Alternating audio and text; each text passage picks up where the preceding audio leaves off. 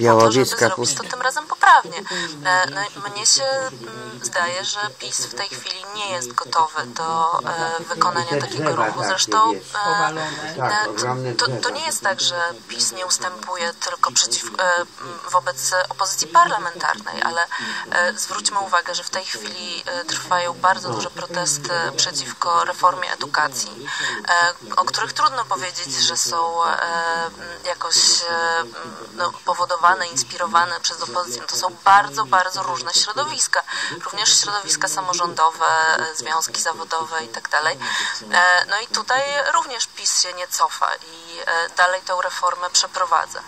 E, więc no, ja myślę, że tego głosowania PiS nie powtórzy i niestety dlatego, że musiałby powiedzieć, no coś tutaj zrobiliśmy nie tak. Dobrze, wydaje mi się, że jeśli chodzi o reformę edukacji, no to jest o tyle inny problem, że jednak e, reforma edukacji przy, oczywiście przy całych protestach i przy całym tempie wprowadzeniu wątpliwościach, no to była jednak obietnica wyborcza. No to, to był jednak element programu. I to jest o to tyle zmienia sytuację, że e, no, jednak pod naciskiem PiS musiałby się wycofać ze swojej e, obietnicy wyborczej, więc trudno powiedzieć, co w tym wypadku jest lepsze. No, z, z, kilku obietnic wyborczych e, PiS się wycofał albo ich nie tak, zrealizował. Natomiast... Z jakich się wycofał? No to jest ciekawe. e, natomiast e, no, w przypadku reformy edukacji zasadniczą sprawą jest to, o czym Pan wspomniał, to jest tempo wprowadzania tej reformy. E, I jeśli coś obiecujemy, to dlaczego nie zrobić to wspólnie ze środowiskami, które są zainteresowane nie, bo środowiska, przeprowadzeniem tej... środowiska, które są zainteresowane, były zainteresowane nie, w, nie wprowadzaniem gimnazjum, a teraz są zainteresowane bronieniem tej, tej gimnazjum, więc nie ma mowy o żadnej dyskusji, no bo są, a, są z góry nastawione na nie, więc o czym my w ogóle mówimy? No, no nie, jednak wydaje mi się, że e, w tym przypadku... Z panem broniarzem na czele. No. No tak, ale e, w tym przypadku jednak jest pole do rozmowy e, i zwłaszcza jeśli e, tutaj zostało zmienione zdanie i rzeczywiście Związek Nauczycielstwa Polskiego kiedyś był za, teraz jest przeciw, czy odwrotnie i tak dalej. Natomiast to przeciwko, przede wszystkim przeciwko czemu teraz trwają protesty, to jest wprowadzenie tej reformy po prostu na hura z konsultacjami, które na przykład, tak jak w przypadku e, podstawy programowej, trwały tydzień. E, czy były zapowiedziane, że można e, zgłaszać uwagi w ciągu tygodnia. No to są jakieś rzeczy no, absolutnie. To ja teraz dopytam. Rozmawiamy teraz o 2016 czy już 2017? Czy zrobiliśmy taki ładny No poniekąd trochę, możemy powiedzieć, że o, o, o całej dekadzie najbliższej, prawda? No, o tym, co się będzie działo, bo... Młodzieży chowanie. Tak bo faktycznie e, te protesty wszystkie raczej nie ustaną i e, rzeczywiście no, na przykład tak jak reforma edukacji, no, ona będzie wprowadzana. E, już w tej chwili jest kolejna wersja podstawy programowej, która będzie, no tym razem mamy miesiąc na, na konsultacje, więc to już jest jakiś taki rzeczywiście bardzo... Czyli się poprawia. A no. z drugiej strony dokładnie słyszałem zarzuty z, czytałem właśnie ze Związku, zdaje się, Nauczycielstwa Polskiego, że głównym zarzutem było to, że podstawa programowa nie różni się niczym w poprzednich latach. Więc ja po prostu nie, nie dosyć tego nie rozumiem. A to, no nie, ale chyba chodzi o bardzo zamierzchłe poprzednie lata. Wprowadzenie reformy to 1 września 2017 roku, zostało kilka miesięcy, to teraz trochę wcześniejsza. To mimo wszystko bardziej rychła data 11 stycznia, kolejne posiedzenie Sejmu. E, pytanie, co się wydarzy podczas tego posiedzenia Sejmu i co się będzie dziać po zamknięciu tego pierwszego w tym roku posiedzenia Sejmu. No bo przypomnę, że e, ten scenariusz, który znamy, to jest e, scenariusz mówiący o tym, że opozycja będzie blokować salę plenarną właśnie do 11 stycznia. I co dalej? Po słowach prezesa Kaczyńskiego mamy chyba gwarancję tego, że, że PiS się nie cofnie. No właśnie, to, jest, to, to będzie ciekawe, tak? Znaczy trudno mi powiedzieć, yy, co zrobi Prawo i Sprawiedliwość, czy się cofnie, czy się nie cofnie. Wydaje mi się, że to kwestia jest e, gry, tak? Jak i scenariusza. Wydaje mi się, że tak jak Ryszard Petru mówił, że on tu będzie wszystkich zaskakiwał tego 11 stycznia, to, to nie jest powiedziane, że, że w ciągu tak, 10 dni nie, scenariusz się PiSu nie zmieni i nie wiem, na przykład 10 stycznia nie, nie przyjdą wszyscy posłowie PiSu na salę i nie zaczną głosować ustaw. Trudno powiedzieć.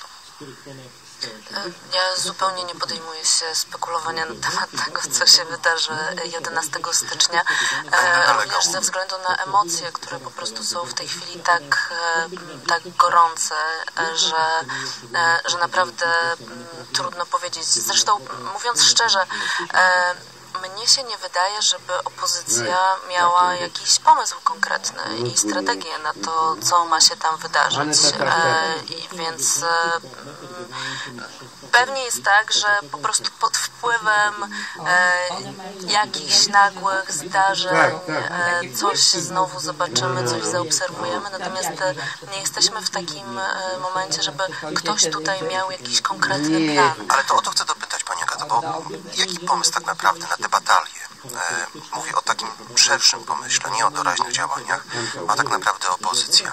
Bo tak. patrząc na przykład na to, co działo się na sali plenarnej, Zastanawiam się, czy tak naprawdę czas nie działa na korzyść PiSu.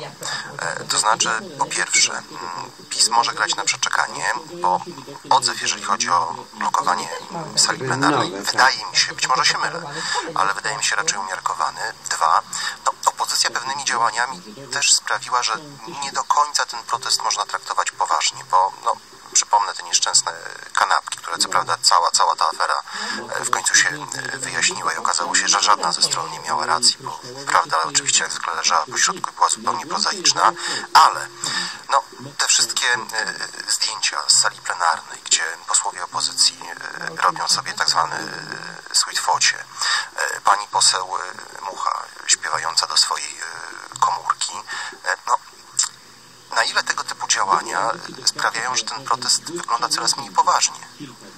Znaczy, był taki moment, e, zwłaszcza dla Platformy Obywatelskiej, kiedy wydaje mi się, że to bardzo dobrze tak, tak powiem, grało na rzecz Platformy. E, Platformy, no. wobec której jednym z zarzutów było to, że jakoś oderwała się od ludzi, że nie ma związku ze społeczeństwem.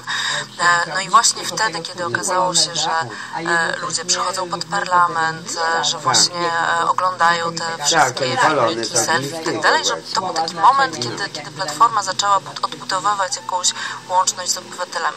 Natomiast faktycznie jest tak, że ponieważ to trwa długo i, i nie ma jakiejś dynamiki, nie, nie, nie, pojawiają się jakieś konkretne wydarzenia, no to trudno jest utrzymać e, i zainteresowanie i, e, i to, żeby ludzie faktycznie chcieli się angażować. Natomiast w ogóle problem polega na tym, no, że ta opozycja w Polsce e, no, musi się no, zbudować, właściwie z gruzów odbudować. I ja myślę, że to będzie jedno z najważniejszych rzeczy, które będą działy się w tym roku. Ale Ponieważ Platforma Obywatelska... No, Platforma Obywatelska z całym szacunkiem oczywiście dla wyniku wyborów, jako no, partia, która przegrała wybory, nie otrzymała tak fatalnego wyniku. To jest, owszem, to jest, tak, to, to jest dobry wynik, całkiem dobry, zwłaszcza po, po tylu latach rządzenia i po tak źle prowadzonej kampanii wyborczej. E, nawet zaskakująco dobry. Natomiast e, no, Platforma Obywatelska, no, to, to jest trochę tak, że z braku laku część ludzi na tą Platformę Obywatelską za, ale, zagłosowało. Ale Nowoczesna jako zupełnie świeża partia też otrzymała całkiem która, przyzwoity wynik. Tak, która nie jest mocno, nie która nie jest mocno zakorzeniona, która e, ma no ja akurat tak, nie, nie oceniałabym jakoś bardzo wysoko e, liderstwa pana Ryszarda Petru. No a poza tym no, to jest partia bardzo młoda, tak. więc też nie wiadomo co z tym będzie. No gdzieś tam jeszcze mamy partię Razem, która też, zwłaszcza przy okazji protestów społecznych, staje się dość poważnym aktorem. No mamy Kukiza oczywiście, no natomiast wszystko to no jakby to jest taki konglomerat różnych opozycyjnych partii, z których coś moim zdaniem dopiero się będzie wy, wy, wyłaniać. No, jakby Platforma Obywatelska ma tak wiele za uszami i e, obywatele o tym wiedzą e, jednak, że no, to nie jest partia, która ma po prostu duże no zaufanie społeczne i przekonanie, że to są ludzie, którzy nas reprezentują w konflikcie gorącym. Na ile te partie opozycyjne mówię? Tam są osoby takie, natomiast nie, nie, nie cała formacja. Myśląc oczywiście o tych, o tych partiach, które są najbardziej aktywne, jeżeli chodzi o, o te protesty, czyli tak naprawdę nowoczesna i właśnie Platforma Obywatelska, na ile w tych działaniach jest jakaś idea, jest jakiś pomysł na, na kampanię tak naprawdę, e, a na ile to są działania absolutnie doraźne od wydarzenia do wydarzenia. Znaczy, podstawowym, tym, podstawowym problemem chyba w tym momencie z tym protestem opozycji y, jest to, że mm, uderzy, opozycja uderzyła w bardzo wysokie tony, czyli faszyzm, brak demokracji, zamordyzm, Stalinizm. żeby ktoś mówił o faszyzmie. No nie, po raz no, kolejny to mówi... O, faszy, o faszyzmie mówi, chciałem mówić, to tam o, o faszyzmie to raz w tygodniu się no, standardowo mówi na lewicy i... Na jakiej lewicy? Proszę przeczytać Gazetę tak, Wyborczą, naprawdę co, jak dzisiaj ten, jak dzisiaj nie będzie nic o faszyzmie pisał, to, to, to, to, to stawiam, to stawiam kawę. Dobrze, dobrze, to, to ja się zgłoszę po tą kawę. Bardzo poważna deklaracja padła. Ale rzeczywiście, e, że, że rzeczywiście uderzone znaczy, w ten słownik w pewnym momencie, znaczy ja w pewnym momencie, to już kilka miesięcy po wyborach, to był po, tak obu stronach ten słownik jest Tak, tak, nie, ale chodzi mi, chodzi mi o to, to tak, tylko że, że, że ja rozumiem. To jest, tak. Tyle, tyle tylko, że z drugiej strony jest, jest tak, że tutaj jest demokracja Gora i państwo tutaj na, na wschód nas jeszcze przesuwają, że tam jak Białoruś jesteśmy do, do zeszłego tygodnia. E, i, a jednocześnie posłowie e, śpiewają na mównicy, robią sobie selfie. E, tutaj jest, wszystko to sprawia wrażenie takiej dobrej zabawy tam e, w tym, w tym, w tym, w tym Sejmie. E, tu Wigilia na korytarzu z pasztetem, no po prostu jakiś, jakiś no normalny człowiek myśli sobie na jakiś cyrk po prostu robią, tak? Znaczy i, no i, i, i to, ten język nie współgra w ogóle z tym, co, e, co się dzieje, tak? I o tyle pragnę jeśli już mówimy o puczu, no to, to przypomnę, że e, jednak w tym wywiadzie Jarosław mówił o pró Jarosław Kaczyński mówił o próbie puczu, e, co uważam, że e, w tej w tej logice zdarzeń e, różnie mogło się potoczyć. Tak? Znaczy, jeżeli na przykład, przypomnę chociażby z wydarzenia na Majdanie, E, tak naprawdę na, Majda na Majdanie e, problem rozpoczął się w momencie, znaczy problem dla Wiktora Janukowycza rozpoczął się w momencie, kiedy użył on Berkutu przeciwko studentom. Przecież ten protest też tam e, wygasał. I doskonale pani wie, że na następnego dnia albo w następnym, na, na następny weekend było tam już 100 tysięcy, tam było już setki tysięcy ludzi. Trudno powiedzieć, co było tego E, staje się 16 grudnia. Gdyby e, policja zrobiła komuś krzywdę, no, gdyby potraktowała ludzi gazem i tak jak traktowała ludzi Platforma Obywatelska, policja za Platformę Obywatelską. Trudno powiedzieć.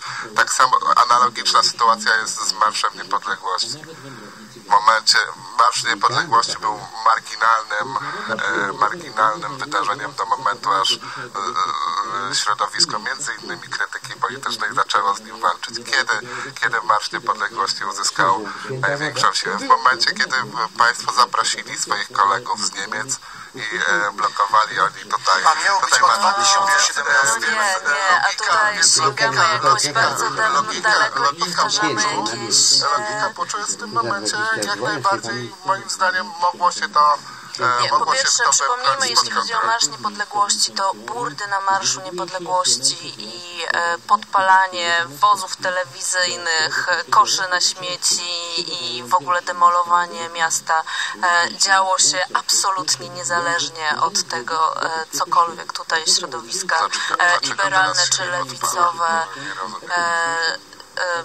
No nie wiem, mam nadzieję, że, że po Za prostu... Mówię o Marszu Niepodległości, tak? że dlaczego za Platformy się podpalało, a teraz się nie podpala. Ale pan sugeruje, że Platforma podpalała i że to były jakieś... No, no nie, na e, przykład chyba, na przykład że to zwolennicy e, Platformy, ten e, wóz Wielkowska z Panią podpalili. No, przecież to jest... E, zobacz, tutaj śpiewałem No tej naprawdę, no. Czy możemy powrócić do A ta na 2017, wielka bo coraz, coraz dalej I odjeżdżamy w tym wydarzeniu. Tak, natomiast jeszcze tylko jeśli chodzi o pucz, no to e, czterokrotnie w ciągu tego roku różne osoby z rządu mówiły o kolejnych próbach puczu. To jest po prostu... To, 2017 e, 2016 roku i mm, to po prostu i premier Szydło i pan e, poseł, prezes, e, premier e, Kaczyński. E, także Ale no, wiesz, to, jakie to, to nie jest wielkie? jakieś zupełnie poważne określenie. E, to co, w te, I tam 102 jest. 2017, I tak tak? Cokolwiek się zmieni tak naprawdę, jeżeli chodzi o przeciętnego obywatela, który stara się śledzić wydarzenia polityczne w naszym kraju. To, jakie obrazki będą, będą mu towarzyszyć, to e, jakie treści. Będzie mógł usłyszeć, zobaczyć w ciągu najbliższych To tygodni, ja tylko powiem, bo pan tu mnie pytał o obietnicę w pewnym momencie i być może... redaktor Tak, tak, tak, tak. pan redaktor dopytywał. E, no więc e, te obietnice, które czekają cały czas e, na spełnienie, to są obietnice dotyczące na przykład podatków i kwoty wolnej, co zmieniało się, w pewnym momencie zmieniło się w jednolity podatek, z którego następnie się wycofano. Kwota wolna nadal nie jest taka, jak e, zalecał Trybunał się z Konstytucyjny. E, Okej, natomiast e, to jest coś, co rzeczywiście e, robimy krok w przód, robimy krok w tył, no i być może znaczy gdyby udało się to uregulować Prawu i Sprawiedliwości, no to to by było rzeczywiście duże osiągnięcie i to by było coś takiego, e, no pewnie nie tej skali co 500+, plus, natomiast to byłby jakiś taki ważny gest socjalny dla, e, dla społeczeństwa. Natomiast poza tym, co się będzie działo, no pewnie będziemy mieli e, co tam jeszcze jest niezależne w miarę sądy, no to pewnie jakieś będą próby tutaj uregulowania w cudzysłowie e, mm, Może PiS zablokuje mównice se- sejmo- sądowe. e, mównicę, tak. No coś tam, coś tam PiS pewnie zablokuje. No będziemy mieli jakieś e, e, takie próby nieustannego ograniczania e, e, sfery publicznej, działalności w różnych, w różnych miejscach. No na przykład e, ja przewiduję, że rzeczywiście te sądy to będą takim mocno zapalnym punktem w tym roku. Reforma edukacji cały czas.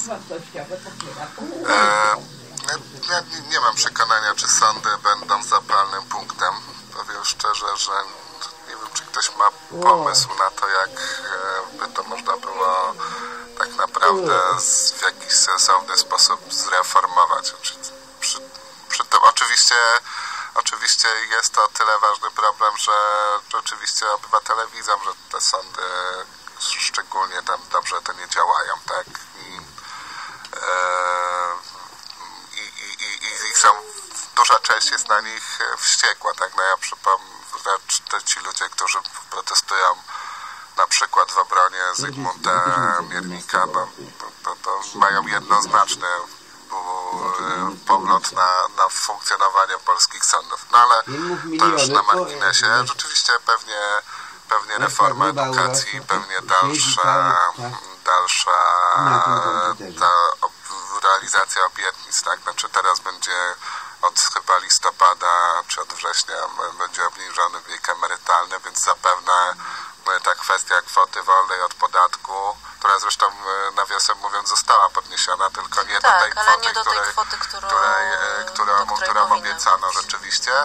Pewnie to zostanie tak jak było w tym roku z reformą e, e, z reformą dotyczącą wieku emerytalnego pewnie zostanie ogłoszona na przyszły rok.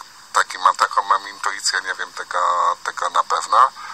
Yy, I mam wrażenie, że obraz się nie zmieni, tak? Za, za chwilę będzie, myślę, myślę, że jeszcze mm, zaczną wychodzić coraz więcej, zacznie wychodzić spraw e, takich, nazwałbym to rozliczeniowych, tak? Znaczy, wydaje mi się, że To będzie paliwo dla opozycji, tego typu y, tematy? znaczy paliwo, wydaje mi się, że nie paliwo dla opozycji, tylko, tylko, tylko pożar w, w, gmachu opozycji, bym tak, tak to nazwał, no bo, no bo jeżeli służby działały, jeżeli służby działają, jeżeli prokuratura y, zbiera dowody, no to jeszcze e, kwestia jest procesów sądowych, ujawnienia e, skali patologii e, za poprzednich rządów. Jest, jest jeszcze afera Amber Gold, która, która będzie wracała i która zapewne czeka nas bardzo, bardzo No, ważne I mamy kwestię Donalda Tuska i jego przyszłości. i tak, i kwestia Donalda Tuska. Mamy kwestię, ale myślę, wydaje mi się, że będzie najważniejszą tak naprawdę w tym roku będzie kwestia międzynarodowa. No właśnie, my tu gadu gadu, a tak naprawdę o tym, co tu się będzie działo w dużej mierze zdecyduje Bliski Wschód, To Rosja, Stany Zjednoczone, Przy Francja i Niemcy. rozmowie proponuję. Dziś jednak mia, miały być sprawy krajowe. Za granicą i światem mm, zajmiemy się zapewne w najbliższych dniach. Pani Agata Szczęśniak, Oko Press i Krytyka Polityczna. Dziękuję. bardzo. I pan Jacek Liziniewicz, Gazeta Polska Codziennie. Bardzo dziękuję. No i tym samym e, kończymy dzisiejsze wydanie debaty poranka w Polskim Radiu 24. Przypomnę, pierwszej debaty poranka w roku 2017, więc Tak, Prawda? Tak dla sympatycznie. Aha, no i pamięt, przypominam jeszcze Państwu o, o tej obietnicy złożonej na antenie kilkanaście minut temu, czyli teraz bardzo szybka lektura, E, lektura, jednego, tak, tak. jednego z tytułów prasowych, a potem no, albo będzie, albo nie będzie, być Tak. może kawa. Dziękuję. Dziękujemy. Autopromocja. Polskie Radio 24. Największe sportowe wydarzenie.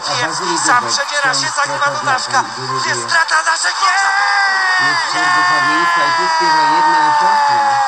Sukcesy polskich zawodników. Kręci, kręci, kręci. Jeden, drugi, trzeci, czwarty obrót i leci. I samba chciałby tańczyć. Młot! Jeszcze dalej. Emocje, których nie możesz przegapić. Jest przewaga niemal długości łodzi. Dalej Polki, dalej do przodu. Popychajcie równo, rytmicznie, wstępem. Magazyn sportowy w Polskim Radiu 24. Codziennie o 21.06. Autopromocja.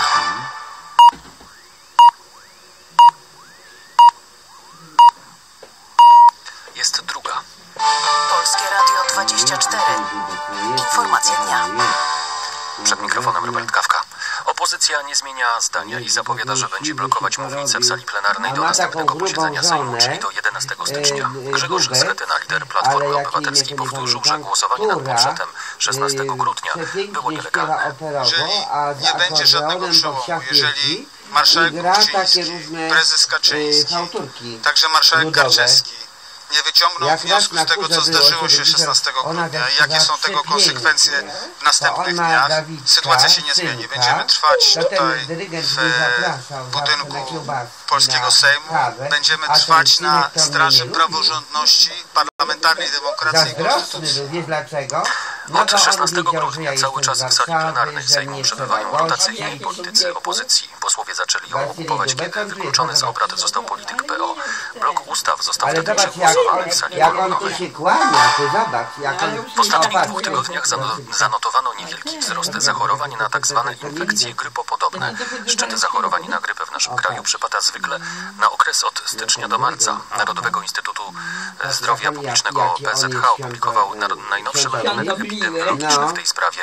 Profesor Lidia Brydak mówi, że obecnie notuje się głównie przeziębienia. Sezon Całkiem epidemiczny trwa od inaczej 1 wygląda. października do końca września. Od początku sezonu mamy zgłoszonych podejrzeń zachorowań na grypę milion Tak, jedna siostra 117 zakonna. Tak. 672. Do Patrzę, dnia dzisiejszego mamy łącznie w No, całym kraju 44 potwierdzenia, że to jest infekcja grypowa.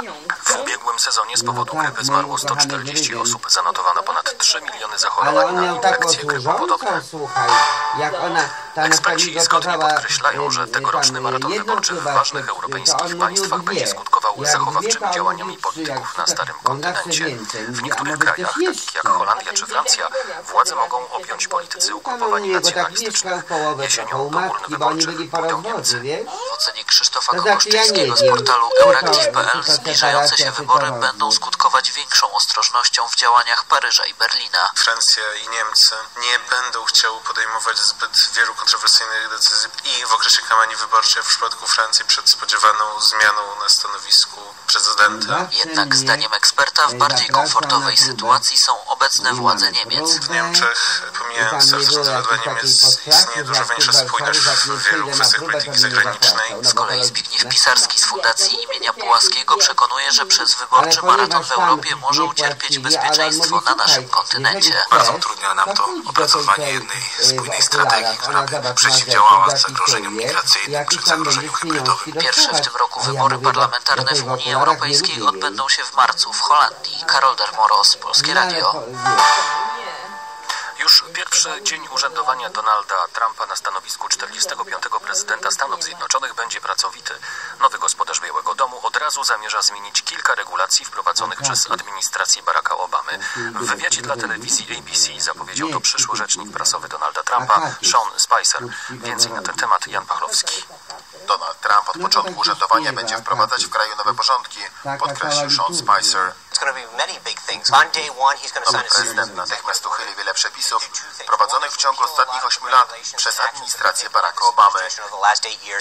Spicer nie podał konkretnych przykładów, ale pewne jest, że chodzi przede wszystkim o sztandarowy program ustępującego prezydenta Obamacare, zapewniający powszechne ubezpieczenie zdrowotne ponad 10 milionom Amerykanów. Trump uważa, że w takiej formie jest on nie do przyjęcia i trzeba go jak najszybciej zmienić. Ponadto z wypowiedzi Shona Spicera wynika, że Donald Trump ograniczy liczbę pracowników prezydenckiej administracji.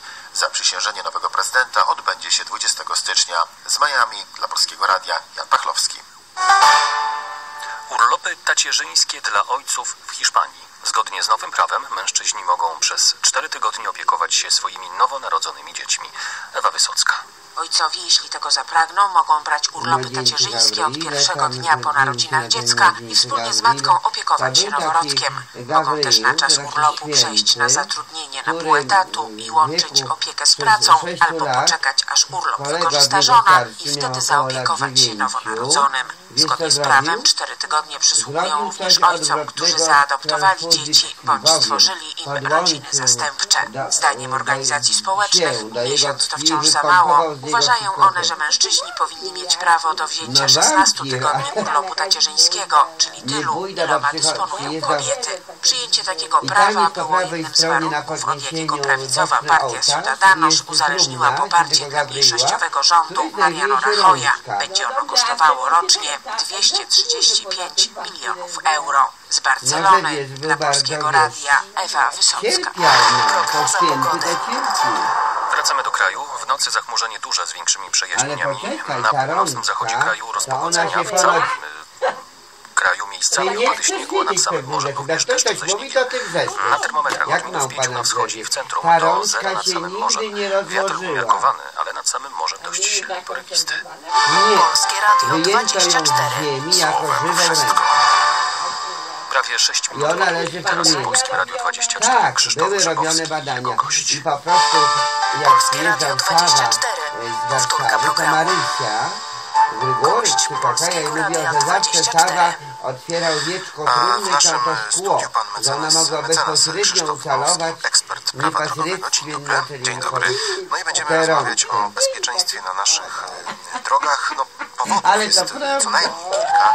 E, Pierwszy z nich to oczywiście e, Ale to jest prawda. niestety głośne i równie tragiczne Ile ja się nasłuchałam tej Marysi.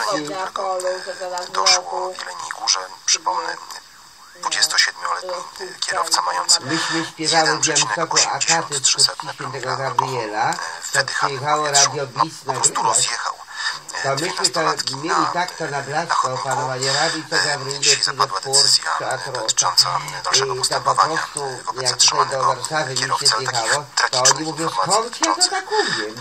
e, Ja mówię. Marynia mnie nauczyła. Żegnaliśmy stary rok, e, witaliśmy nowy, jest oczy- oczywiście e, więcej. 1 stycznia doszło do 65 wypadków e, drogowych, tyle samo wypadków zanotowano również 31 grudnia. 1 Akaty stycznia na drogach zginęło Warszawie 11 osób, śpiewany był 31 ku Bogorodicy. 7 Akaty rannych. ku 1 Bogorodicy. stycznia zostało 77 W osób. Warszawie Uwaga, na przykład. A zatrzymano wiem to ku Gabriela, 320 bo tam jest ta rączka. e, kierowców. I te informacje, I ten no, żeby zbiegają się w czasie tak ciągnąć z jak informacjami głośno, wysoko na dotyczącymi, dotyczącymi zmian, jeżeli chodzi o przepisy prawa drogowego. Starosta będzie mógł podjąć e, postęp, będzie mógł e, podjąć postępowanie o zatrzymaniu prawa jazdy kierującego, który złamał e, przepisy, nawet jeśli policja fizycznie nie odebrała mu dokumentu prawa, prawa jazdy, bo proszę mnie sprostować, ale do tej pory było chyba tak, że jeżeli policja zatrzymywała nas za jakieś przewinienie drogowe, to mogliśmy się niejako wyłgać tym, że nie mamy akurat przy sobie dokumentów. No i policjant, który nas zatrzymywał do kontroli, po prostu fizycznie tego prawa jazdy To bardzo długie jest. zatrzymać. No i podobno wielu kierowców no, w ten sposób e, ratowało swoje prawo jazdy przed zatrzymaniem, mówiąc, że po prostu przy sobie nie mają. Tak, to prawda, rzeczywiście tak było. Kierujący woleli popełnić, dostać mandat za wykroczenie, czy też popełnić e, poczciwa wykroczenie polegające na mm, odmowie przedstawienia dokumentu, bo de facto często mieli ten dokument przy sobie, dlatego że w sytuacji, kiedy przepis był, no można powiedzieć, nieprecyzyjny, to starostowie, kiedy otrzymywali samą informację o wykroczeniu, nie otrzymywali prawa jazdy, to nie wydawali decyzji o zatrzymaniu prawa jazdy na 3 miesiące. W tej chwili znowelizowano przepisy e, ustawy o kierujących pojazdami w tym zakresie i policja informuje o popełnieniu takiego wykroczenia. I na tej podstawie e, starosta właściwy e, wydaje decyzję o zatrzymaniu uprawnień na ciekawe, czy ja 3 znajdę miesiące. To chcę jeszcze o jedno sformułowanie dopytać. Starosta będzie mógł podjąć postępowanie, ale czy to oznacza, że w każdej sytuacji wobec każdego z takich e, kierowców to postępowanie będzie wszczynane, czy na przykład w pewnych sytuacjach starosta będzie mógł nie skorzystać z tego Nie, przepisu? starosta ma obowiązek. Jeżeli, jeżeli, wsz- jeżeli wpływa taka informacja, to st- starosta ma obowiązek wszcząć postępowanie i wydać decyzję. Na tyle będzie mógł, co po prostu będzie wszczynać. Tak, starosta wszczyna, wszczyna to postępowanie, ma obowiązek wydać decyzję. Oczywiście jest to normalny tryb postępowania administracyjnego. Tutaj z tym, że tutaj tych e, czynności dowodowych nie ma zbyt tak wiele, bo wystarczy informacja o tym, że dokonano takiej kontroli, że kierujący popełnił wykroczenie polegające na przekroczeniu prędkości o 50 km. To jeszcze przepraszam, ważna uwaga. Do 50 km, bo o tym nie wspomniałem.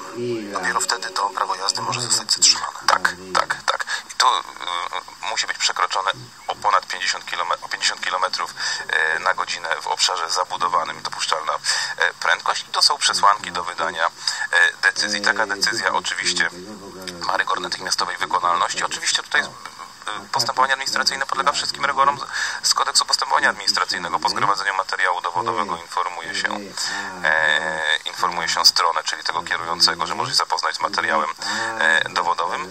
Niemniej ważne jest to, że decyzja ma rygor natychmiastowej wykonalności. I oczywiście, jeżeli taka osoba po wydaniu takiej decyzji zostanie ponownie przyłapana na prowadzeniu pojazdu mimo tego trzymiesięcznego zakazu, to orzeka się, to przedłuża się jakby ten okres do 6 miesięcy. Chyba, że zanim zostanie wydana decyzja, zostanie ta osoba e, ponownie e, złapana jako prowadząca pojazd, niezależnie od tego, czy przekroczyła prędkość, czy nie, to wtedy od razu starosta wydaje decyzję o zatrzymaniu na 6 miesięcy. No i teraz pytanie. E, Pana zdaniem to jest e, zmiana idąca w dobrą stronę, bo wydawałoby się, że no, w ten sposób śmierć. została em, pewna luka, która do tej pory e, występowała, no, została zlikwidowana. Ja zostawałem na górze, bo mnie kazał... Ustawodawca w procesie stworzenia prawa nie zawsze jest w stanie przewidzieć wszystkie sytuacje. E, z różnych to powodów wynika. Oczywiście czasem życie jest bogatsze niż e, doświadczenie samego e, ustawodawcy. I w momencie, kiedy się okazało, że takie wątpliwości mogą prowadzić do interpretacji, że niektóre osoby rzeczywiście faktycznie będą nadal mogły jechać, mimo tego, że popełniły wykroczenie 50, plus, no to tutaj pre- sprecyzowanie tego w ustawie o kierujących pojazdami jest rzeczywiście pozytywnym, pozytywną zmianą, bo odbiera tutaj możliwość, no, powiedzmy wprost, cwaniakowania niektórym, e, niektórym e, osobom. I teraz pytanie, czy dzięki temu na przykład rzeczywiście za rok będziemy mogli powiedzieć o tym, że ten bilans z nowego roku, z pożegnania starego roku, będzie lepszy niż ten e, tegoroczny, bo kolejny problem, jaki się pojawia, o tym bardzo często mówią policjanci, nieoficjalnie zaznaczam, bo oficjalnie te komunikaty wyglądają zupełnie inaczej, ale bardzo często mówią, że na przykład tak naprawdę plagą na polskich drogach nie jest wcale kwestia kierowców, którzy przekraczają dozwoloną prędkość, ba, największym problemem polskich dróg nie są również kierowcy, jak się okazuje. Może rzeczywiście to jest bardzo nagłośniony temat, to dobrze. Bardzo poważnym problemem, z którym zmagają się policjanci, są na przykład kierowcy, którym zatrzymamy już prawa jazdy, a którzy nadal, mając pełną świadomość konsekwencji, prowadzą samochody. Rzeczywiście. Te zmiany legislacyjne od pewnego czasu też, które były wprowadzane, też miały na celu też miały na celu właśnie wyeliminowanie tego problemu. Ja bym się tutaj oczywiście też nie zgodził, że problemem nie są tylko kierujący, którzy prowadzą bez uprawnień, bo moim zdaniem dużym problemem także jest przekraczanie prędkości, tutaj niedostosowanie prędkości, jakiś brak wyobraźni. Tak, ale natomiast, o, tych, o tych problemach tak, mówimy, natomiast o tak, trzecim problemie natomiast, natomiast, natomiast tak, rzeczywiście, jakiś czas temu to właściwie niewiele groziło osobie, która prowadzi bez która prowadzi pojazd bez prawa jazdy. Ciężko jest zabrać prawo jazdy, skoro tego prawa jazdy już nie ma. Dokładnie.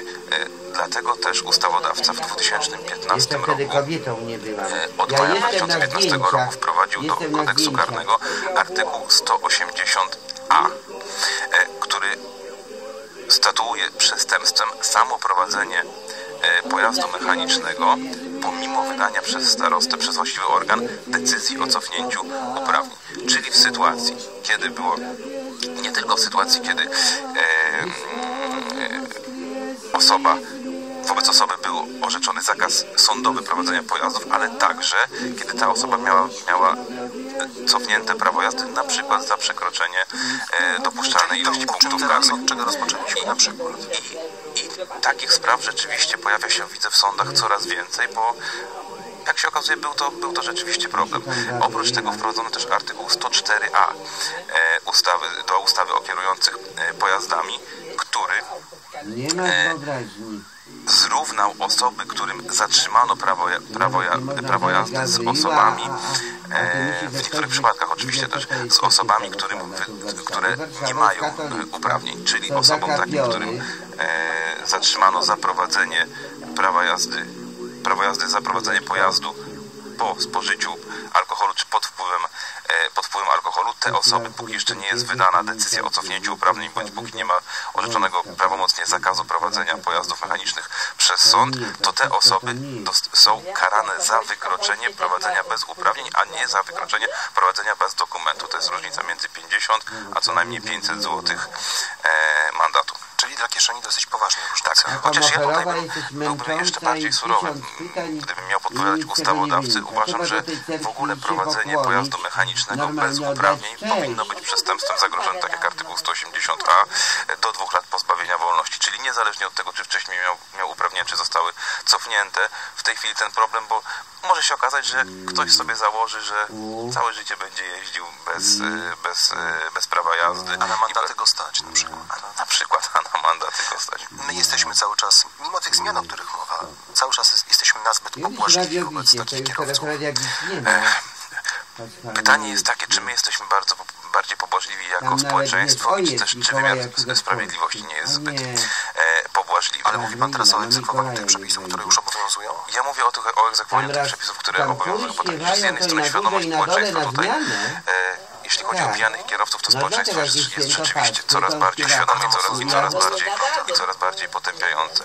Jeśli chodzi o złamanie sądowego zakazu prowadzenia pojazdów mechanicznych, to widzę, że sądy są surowe, ale być może sądy są surowe, dlatego że to jest przestępstwo przeciwko wymiarowi e, sprawiedliwości.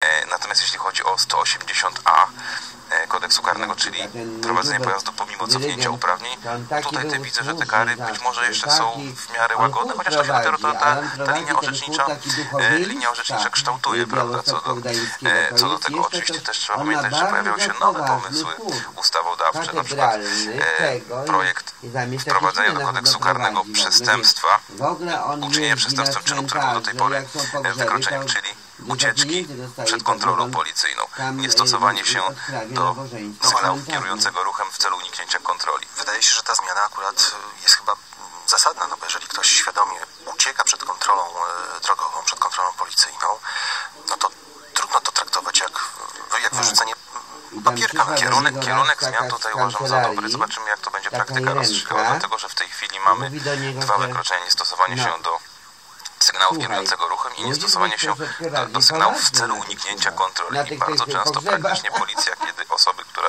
ewidentnie moim zdaniem nie zauważyła e, sygnałów do zatrzymania wydawanych przez policjanta i następnie, kiedy się zorientowała, że ta e, że, że jest przez policję ścigana, niezwłocznie zatrzymuje się. i poddaje kontroli, to w mojej praktyce spotkałem się z przypadkami, kiedy stawiano właśnie zarzut niezatrzymania się w celu uniknięcia kontroli, e, co jest oczywiście z surowszą kwalifikacją prawną i wtedy też orzeka się zakaz prowadzenia, e, zakaz prowadzenia pojazdów, jeżeli by to było w sposób, celu stawiania takiego zarzutu, jeżeli miał, byłoby przez policję nadużywane w celu osiągnięcia jakiegoś tam celu swojego statystycznego, no to tutaj, to tutaj bał, bałbym się. Aczkolwiek będzie to podlegało kontroli sądowej. No, i, i znowu rozmawiamy z jednej strony o przepisach, z drugiej strony o tym, jak te przepisy są wykorzystywane i egzekwowane.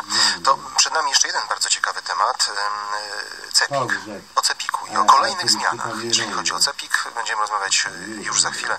Przypomnę, gościem Polskiego Radia 24 jest pan mecenas Krzysztof Dmowski, ekspert prawa drogowego. Polskie Radio 24. Powtórka programu. Polskie Radio 24. Puls gospodarki.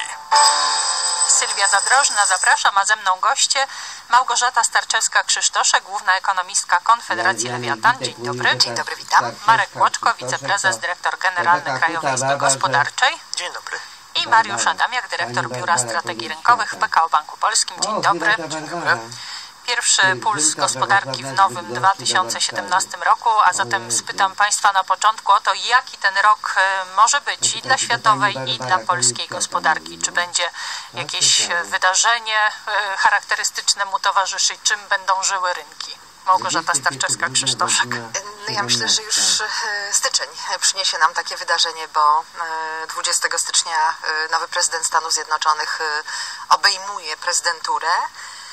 A chyba wszystko wskazuje jednak na to, że to nie będzie taki prezydent, do jakich żeśmy się przyzwyczaili. Oczywiście każdy był inny, każdy miał inne cele, ale myślę, że ten jest kompletnie inny i to wydarzenie, czyli ten 20 stycznia, myślę, że będzie miał bardzo, bardzo poważny wpływ nie tylko na kwestie polityczne, bo to myślę, że jest oczywiste, ale także na kwestie gospodarcze, ponieważ w programie, który głosił w czasie wyborów E, prezydent elekt Trump. E, było bardzo wiele elementów, które wskazują na to, że chociażby mm, kapitały z całego świata będą chciały spłynąć do Stanów Zjednoczonych, e, co będzie oznaczać, że trudniej będzie nam pozyskiwać pieniądze.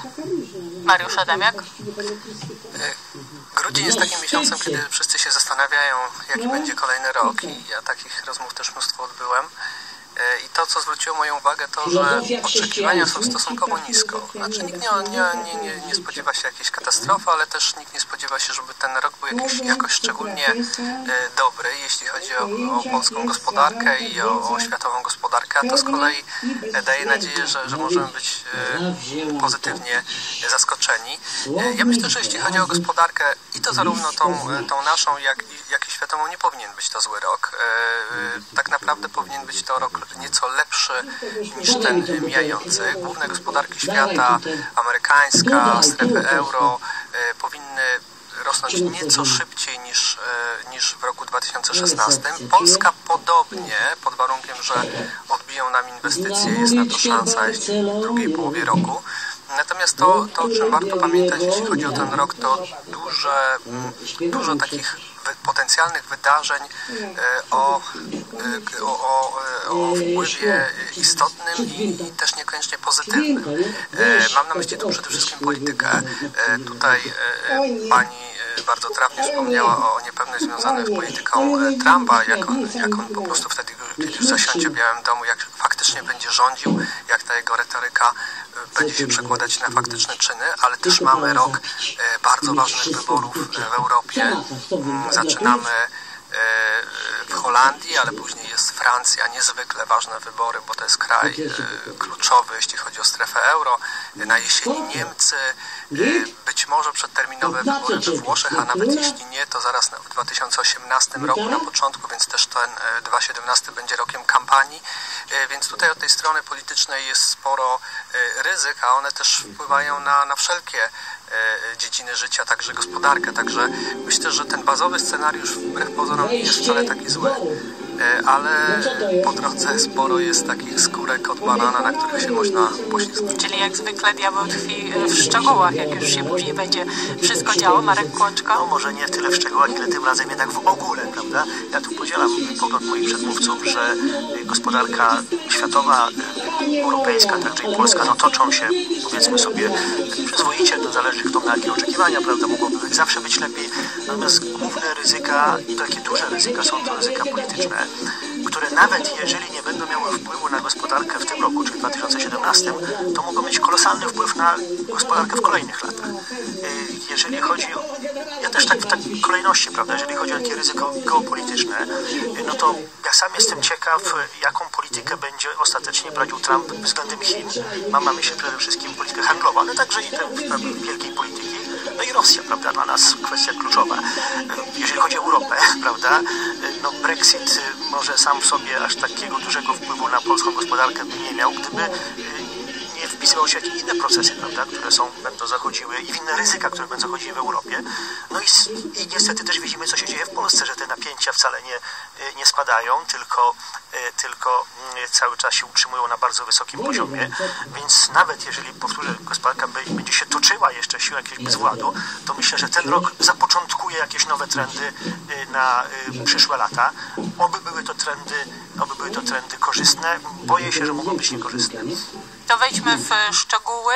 Tutaj pan Mariusz wspomniał, że jest szansa na to, że wreszcie inwestycje, no czekamy na to już w ubiegłym roku, mówiliśmy, że ten impuls inwestycyjny jest nam niezwykle potrzebny do tego, żeby PKB rósł. Czy rzeczywiście jest szansa, że ten rok to już będzie wzrost? Małgorzata Inwestycji? Tak. To ja może sięgnę dzisiaj, mamy dane za grudzień, co prawda, ale bardzo silna zmiana, taki wskaźnik PMI dotyczący tego, co dzieje się w przemyśle szeroko rozumianym i w listopadzie ten wskaźnik był na poziomie no, takim minimalnym, powyżej którego mówi się o tym, że przemysł rośnie, bo wyniósł 50,2. Natomiast w grudniu to było 50,3. 54,3 jest bardzo silne odbicie. To są, to jest wskaźnik budowany na bazie opinii menedżerów logistyki w przemyśle i właściwie wszystkie parametry, które się składają na ten wskaźnik były bardzo silnie rosnące, czyli i zamówienia krajowe, i zamówienia zewnętrzne. Także zatrudnienie. Badani wskazywali, badani menedżerowie w przedsiębiorstwach wskazywali na takie jeszcze silniejsze wzrosty zatrudnienia w przemyśle. Rosły też bardzo intensywnie ceny produktów gotowych, a więc no pytanie oczywiście, czy to, co wydarzyło się w grudniu, pamiętajmy, że grudzień jest specyficznym miesiącem ze względu na święta, ze względu na większe zdecydowanie potrzeby konsumpcyjne, czy ten wskaźnik utrzyma się, bo mieliśmy dosyć silne wahania tego wskaźnika w drugiej połowie 2016 roku. I pytanie, czy on w styczniu, lutym potwierdzi tą tendencję do tego, że przemysł się rozwija. Ale oczywiście, jeśli potwierdzi, to oznacza, że siłą rzeczy przedsiębiorcy będą musieli troszkę zwiększyć nakłady inwestycyjne. Cały czas przedsiębiorcy mówią, teraz na razie mówię o sektorze przedsiębiorstw, cały czas przedsiębiorcy mówią, że bardzo trudno im podejmować decyzje inwestycyjne, że oni chcą, czekają w dołkach startowych do tego, żeby zainwestować, bo te inwestycje mniejsze lub większe są im potrzebne. Natomiast stopień niepewności jest tak duży, że nie mogą podejmować ryzyka, bo boją się utraty płynności. Natomiast to, co na pewno będzie pozytywnie wpływać na inwestycje, no to no muszą ruszyć pieniądze europejskie. Dostaliśmy te pieniądze i trzeba wreszcie zacząć je wydawać. Te pieniądze dostaliśmy i były do wydania od 2014 roku.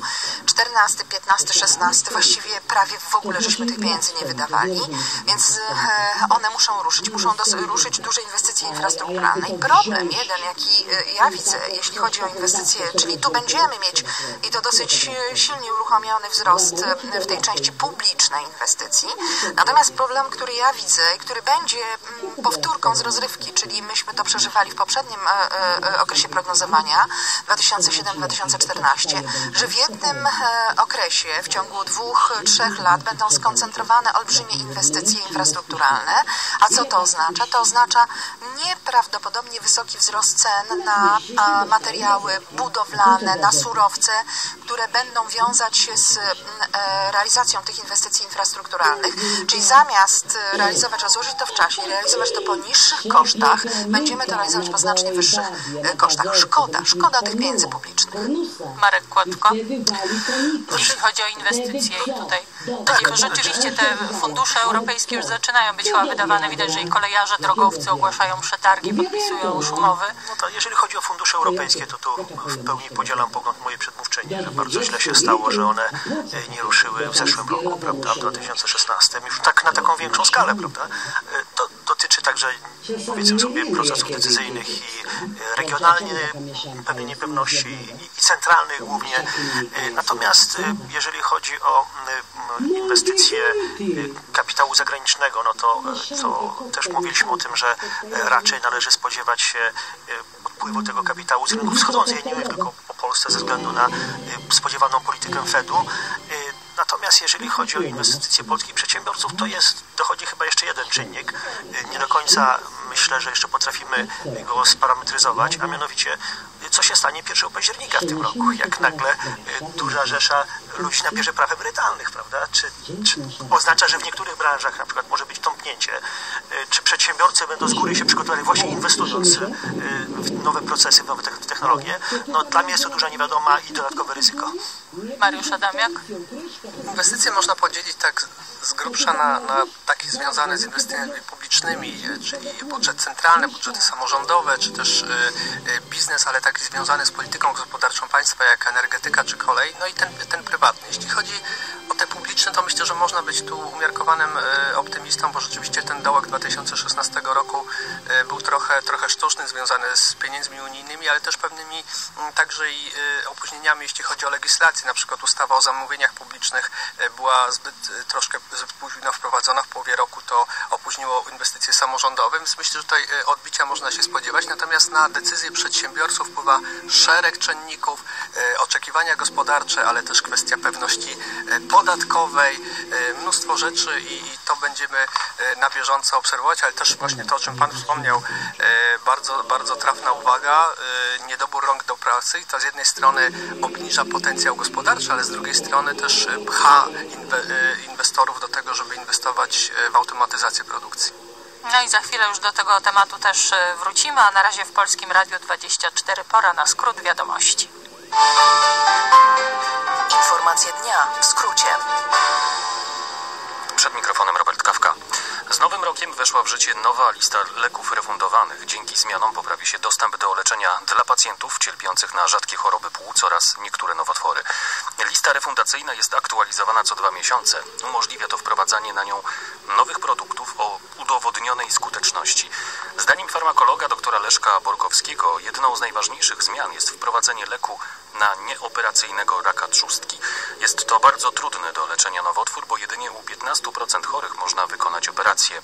Pozostałych nie było do tej pory czym leczyć. Właściwie myśmy mieli dotychczas tylko jeden taki zestaw, koktajl, jak ja to mówię, Mołotowa. Dlaczego Mołotowa? No bo jest straszliwy dla organizmu. Mogli go brać tylko ci pacjenci, którzy są y, chorzy, ale jednocześnie są silni bardzo. Więc produkt leczniczy, który się pojawił, daje im szansę na y, dłuższe życie.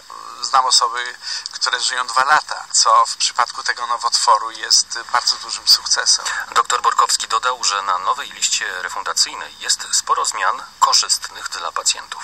Pojawił się lek na mielofibrozę, pojawiła się insulina glargina o przedłużonym działaniu, to dla cukrzyków jest bardzo dobra informacja. Pojawiły się leki na zwłóknienie płuc, pojawiły się leki stosowane w płaskonabłonkowym raku skóry, tym BCC. To jest niewielka grupa pacjentów, bo to jest około 50 chorych w Polsce, ale tych ludzi nie było czym leczyć. W sumie do najnowszej listy refundacyjnej dodano 84 leki. W najnowszym obwieszczeniu nie znajdzie się 18 leków obecnych w poprzednim.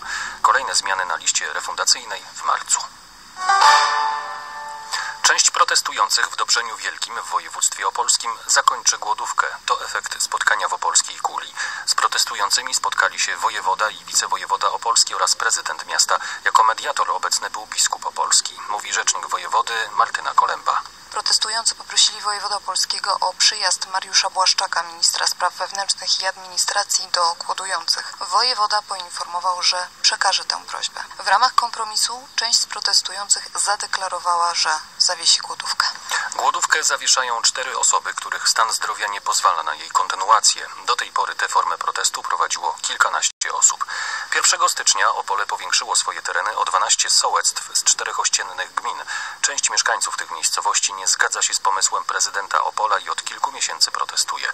Dotychczas były to manifestacje w Opolu, blokady dróg oraz okupacja biura poselskiego Patryka Jakiego, wiceministra sprawiedliwości, który oficjalnie wspiera projekt Dużego Opola. Polskie Radio 24. Słowem wszystko. Zbliża się druga 33. Polskie Radio 24. Powtórka programu.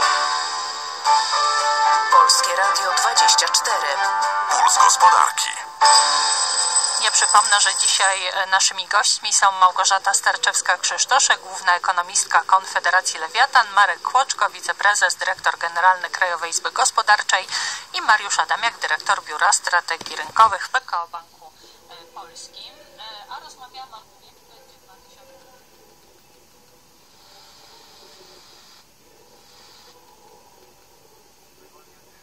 najbardziej potrzebują Twojego miłosierdzia.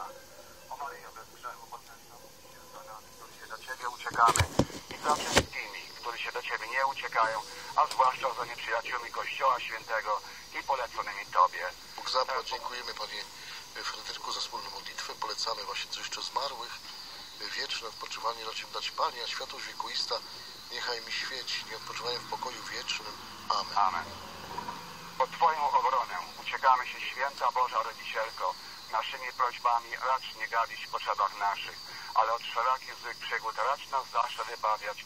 Panno chwalebna i błogosławiona, o Pani nasza, orędowniczko nasza, pośredniczko nasza, pocieszycielko nasza. Synem swoim nas pojednaj, synowi swojemu nas polecaj, swojemu synowi nas poddawaj. I za wszystkich chorych, za moją mamę Polskę, za naszego kuzyna Włodka i za moich teściów. Uzdrowienie chorych, módl się za nami. Uzdrowienie chorych, módl się za nami. Uzdrowienie chorych, módl się za nami. Amen. Amen. Bóg I o błogosławieństwo Boże dla mojego chrześniaka Łukasza. Bóg zapłać, dziękujemy i pozdrawiamy gorąco. I jeszcze chcemy podziękować tym wszystkim, którzy chcą y, dalej y, budować Radio Maria. Dziękujemy za Waszą pomoc, modlitwę, ofiary, które zostały złożone y, na ten cel.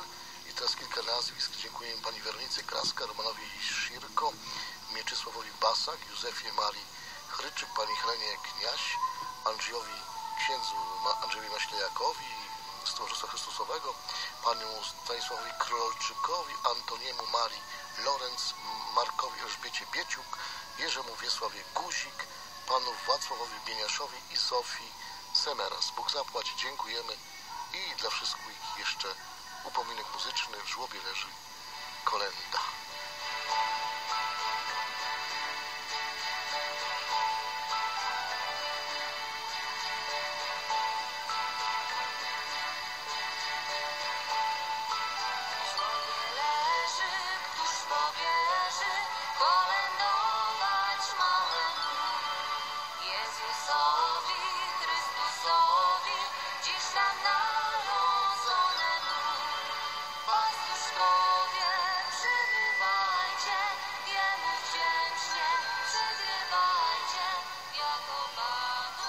Serdecznie dziękujemy Wam za Waszą pomoc materialną dla Radia Maryja, które utrzymuje się jedynie z dobrowolnych ofiar radiosłuchaczy. Dlatego jest głosem wolnym i niezależnym od jakiegokolwiek kapitału. Przypominamy informacje o tym, jak pomóc Radio Maryja. Czeki bankowe lub personalne albo money orders przesyłamy pod następujący adres. Radio Maryja P.O. Box 3 9 5 6 5 Chicago, Illinois 6 0 6 3 9 kreska 0 5 6 5 Powtarzam. Radio Maryja. P.O. Box 3 9 5 6 5 Chicago, Illinois. 6 0 6 3 9 kreska. 0 5 6 5 Za wszystkich ofiarodawców codziennie modlimy się w Radiu Maryja oraz sprawujemy kilka mszy świętych. Zaśpiewamy.